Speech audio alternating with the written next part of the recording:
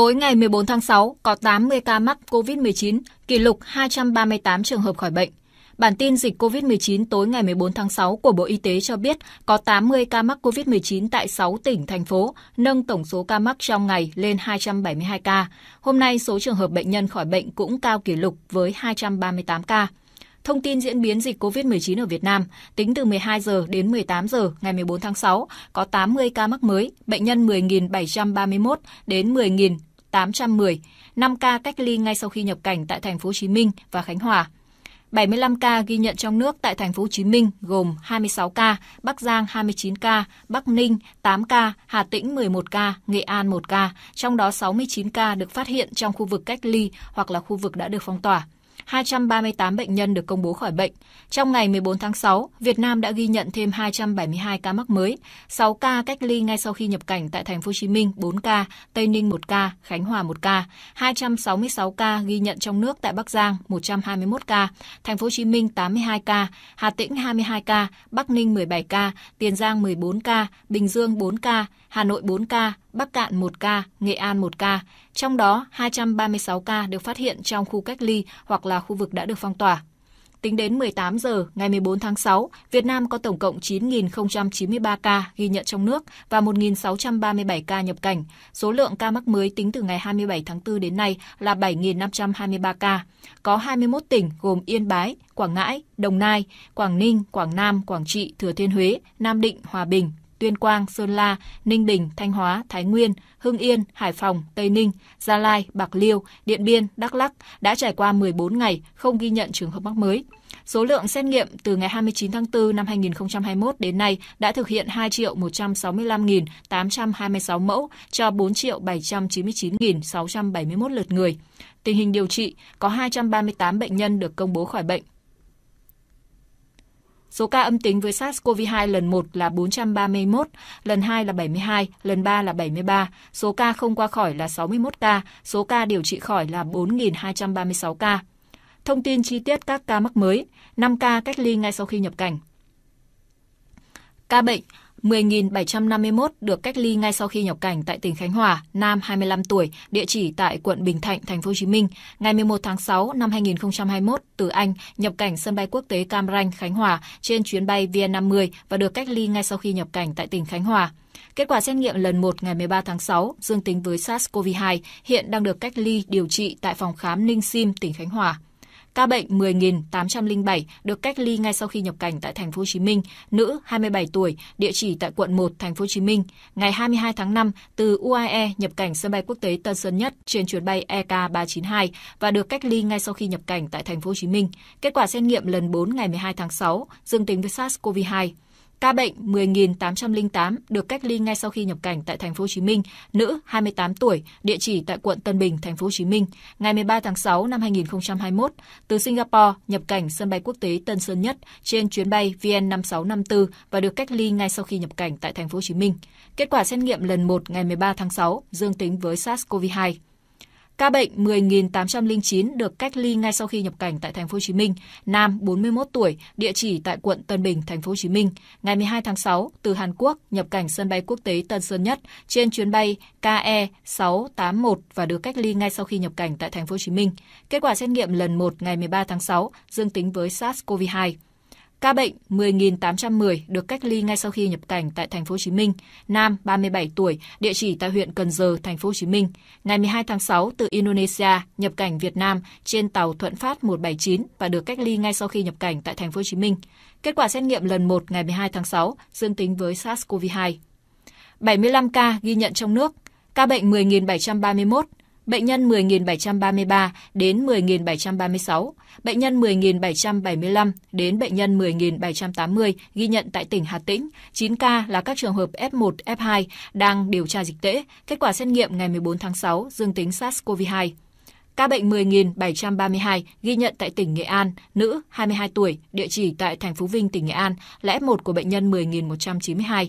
Kết quả xét nghiệm ngày 13 tháng 6 dương tính với SARS-CoV-2, hiện đang được cách ly điều trị tại Bệnh viện Hữu nghị Đa khoa Nghệ An, tỉnh Nghệ An.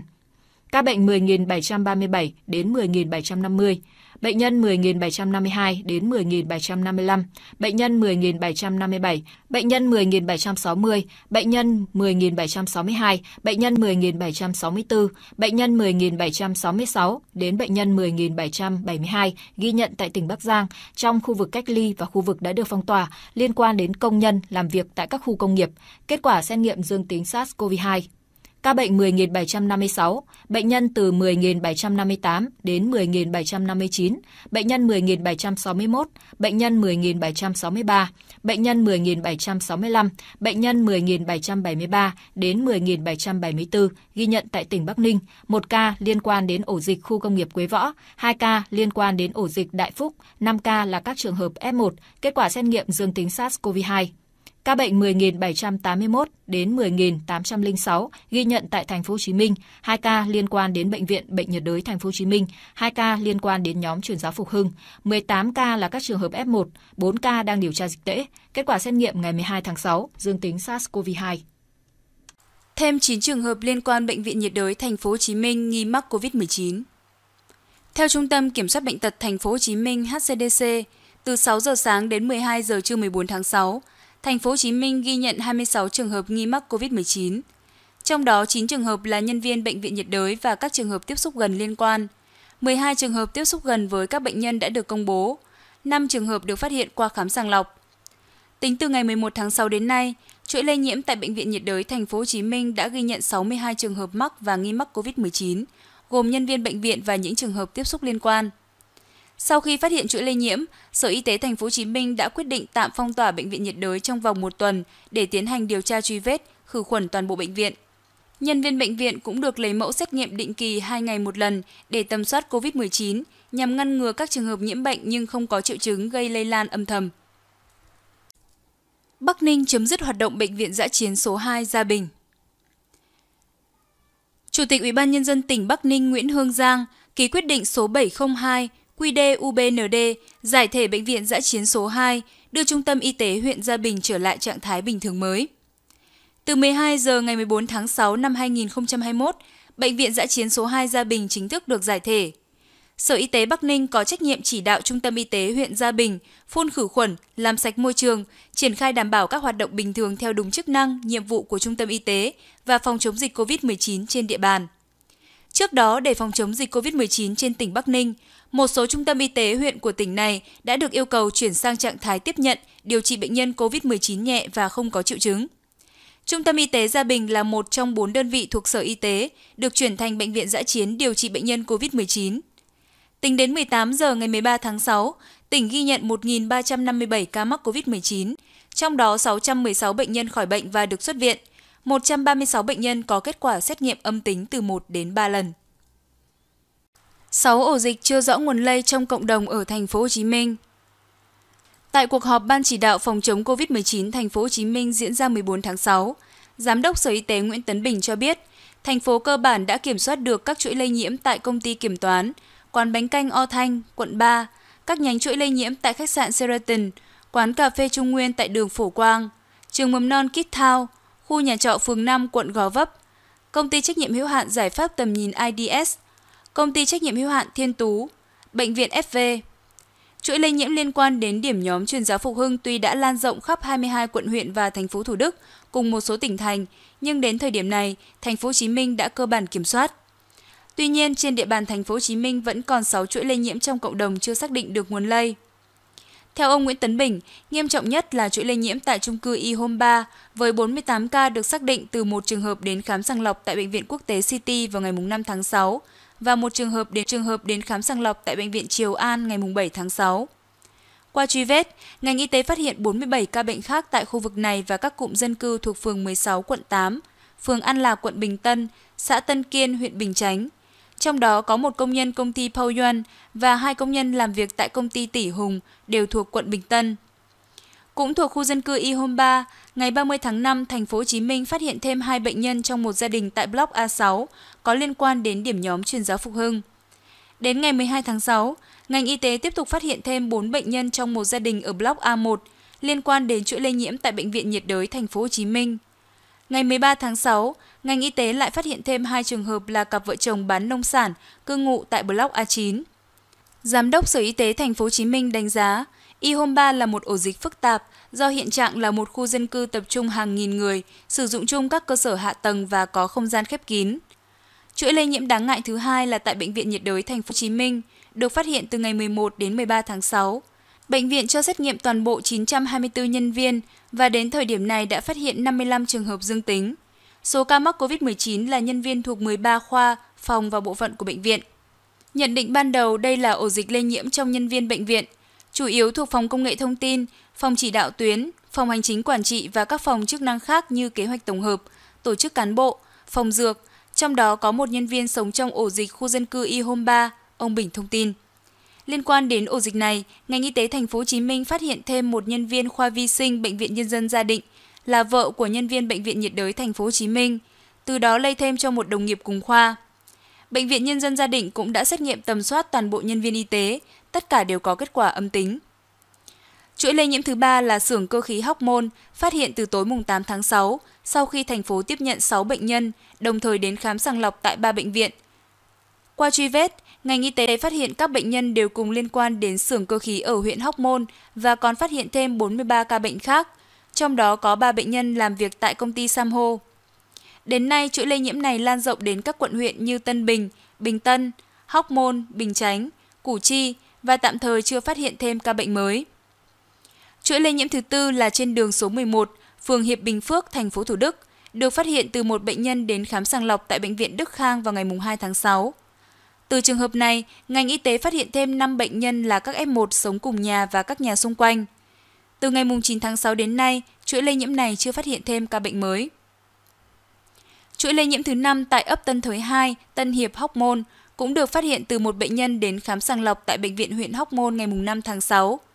Tổng số bệnh nhân của chuỗi này là 10 người, gồm người nhà và các nhà xung quanh.